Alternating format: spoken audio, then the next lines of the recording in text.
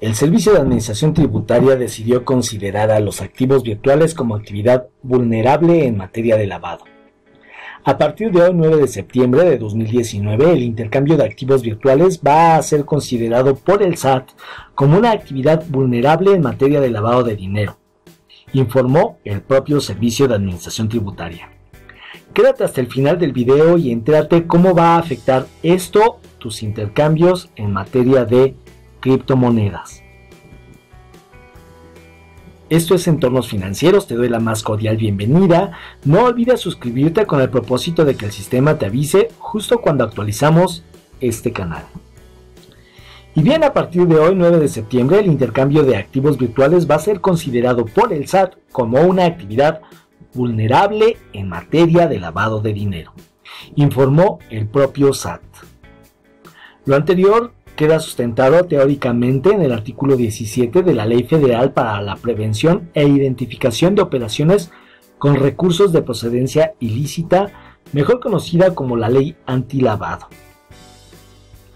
Aquí lo cuestionable es considerar si solamente es el manejo de criptomonedas una vía para realizar actividades ilícitas.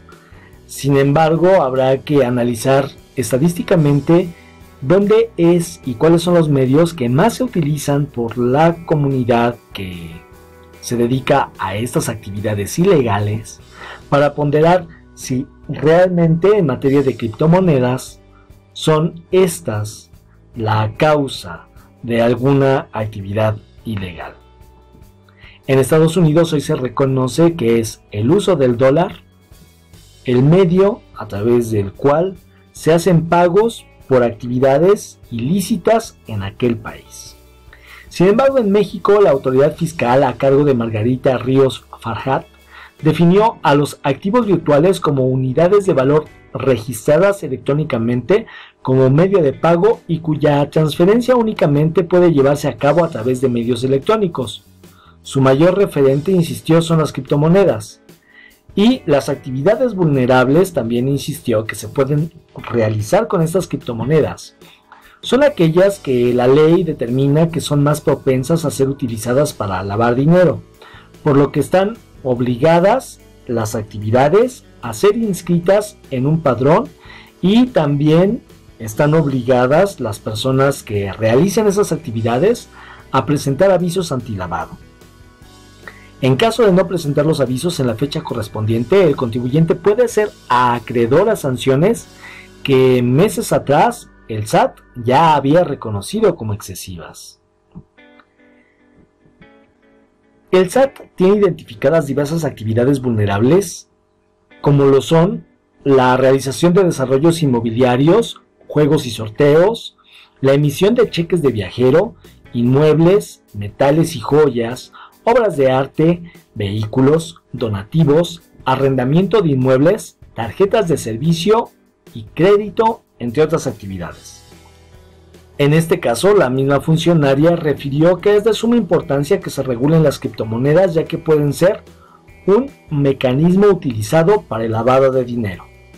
Recordó que el Banco de México es el encargado de regular estos activos virtuales sin embargo, a falta de regulación, el SAT es el encargado de supervisar esta actividad en términos de la ley de prevención del lavado de dinero.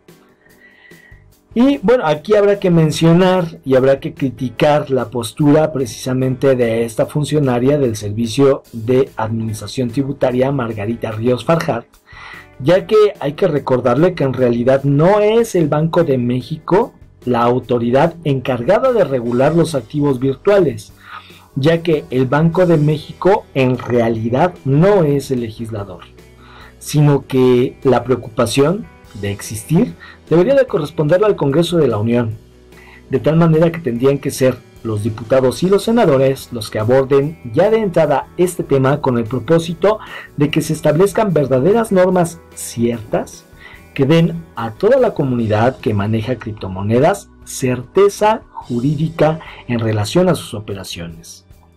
Y no el Banco de México o Banjico, ya que estas circunstancias podrían ser causantes de violación de derechos humanos. El SAT va por el intercambio específicamente en las plataformas. Y esto es lo que más importancia debe de causar a todas las personas que se dedican al intercambio en criptodivisas.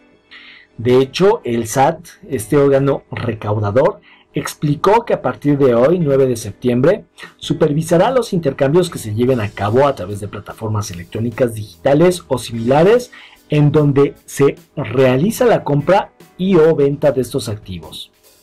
Asimismo, supervisará aquellas plataformas que ofrezcan medios para custodias, almacenar o transferir dichos activos.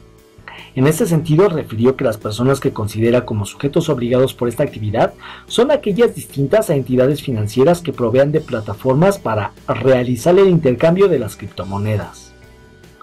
Otro sujeto también obligado van a ser las plataformas facilitadoras de wallets y sitios de compraventa de monedas virtuales como las casas de venta de criptomonedas, cajeros de estos activos, entre otros.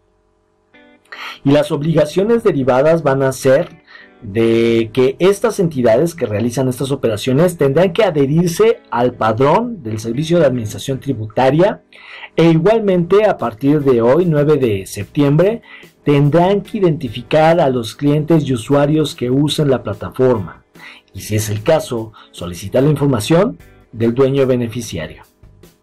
Ya con esto tú puedes concluir que, si bien es cierto, existen obligaciones tanto para las plataformas que proveen el servicio en materia de venta, cambio y custodia de criptodivisas, igualmente y muy seguramente dentro de poco recibas algún correo electrónico o algún requerimiento por parte de tu wallet o intermediario en materia de criptodivisas con el propósito de que te identifiques fidedignamente en el uso de las plataformas y así el SAT pueda tener control de tus actividades financieras.